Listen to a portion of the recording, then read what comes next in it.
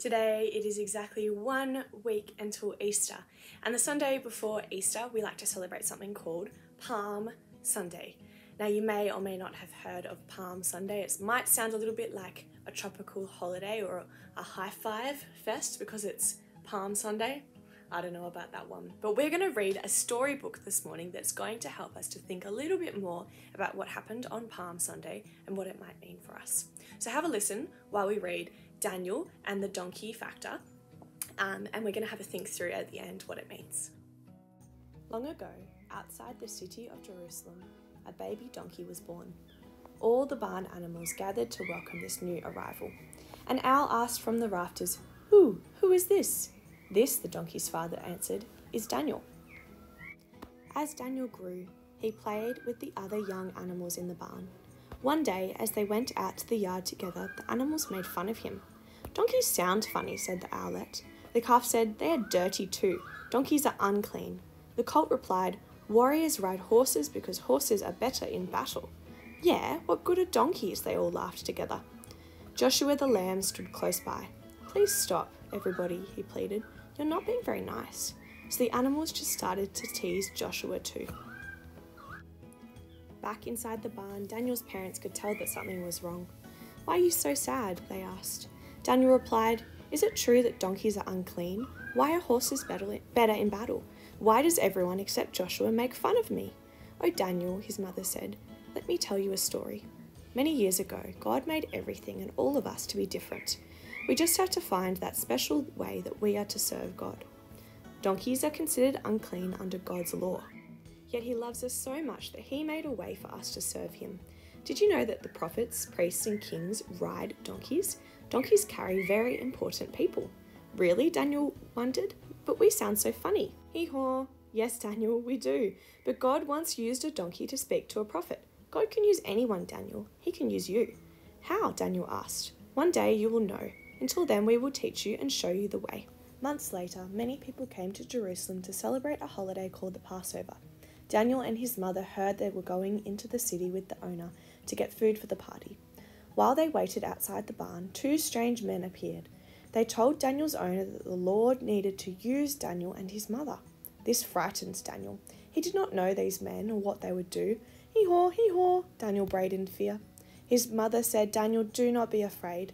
These men are with a special man who teaches about God. He is kind. I know that we can trust him. Follow me. Suddenly, a different man appeared. This man gently reached up and scratched Daniel behind his ears.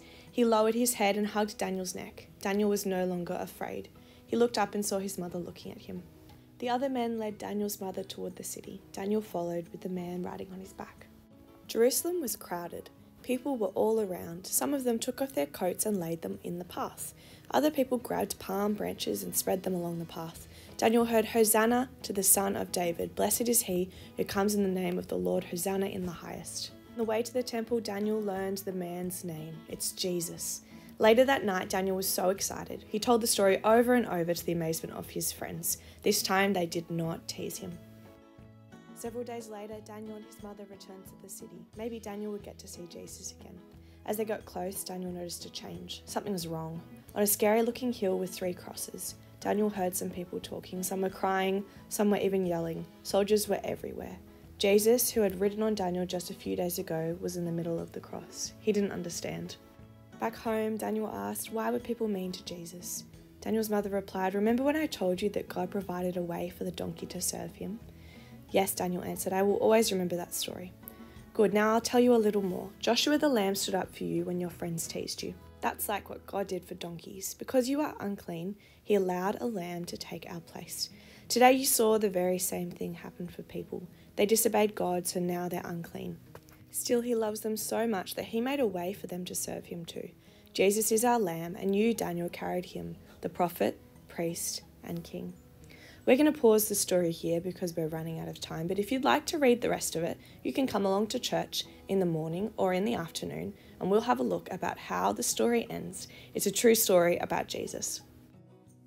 We've just heard this storybook about Daniel the donkey, and of course, this isn't the Bible, it's just a story based on the Bible. Um, but we know from God's word that Jesus was welcomed like a king on this day, even though he was riding on a donkey. And we're looking forward to the day when he comes again triumphantly, when every knee is going to bow and worship him as king. Of course, this is going to be a day when we are all called home to heaven. This Easter, we really encourage you to be talking to your friends and family about the fact that this day is going to come. Jesus is going to come back and everyone is going to know that he is the king. So think through this week how you can be encouraging your friends and your family to love Jesus more and worship him as the true king before he returns triumphantly. Way, way, way more triumphantly than on a donkey.